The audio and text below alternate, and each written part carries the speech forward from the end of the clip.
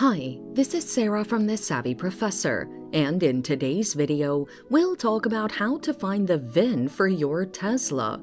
Watch the video until the end to learn this and more. Here are ways to find the VIN for your Tesla.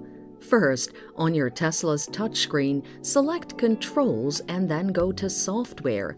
There, you will spot your VIN. You could also open the front passenger door and find the door pillar. Then, look for the product plate. The VIN should be on it. Next, on your Tesla's dashboard, look for a plate placed on it next to the windshield, close to where the wipers are. The plate should contain the VIN.